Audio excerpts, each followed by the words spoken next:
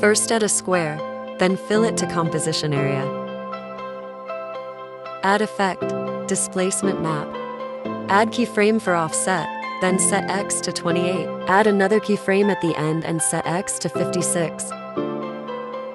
Move the square so that it is only displacing the middle for the perfect glitch effect. Add a second square and fill it to composition area. Then add effect, copy background. Add effect turbulent displace.